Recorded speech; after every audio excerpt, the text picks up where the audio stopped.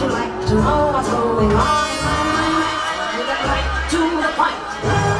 I don't pop my cork for every man.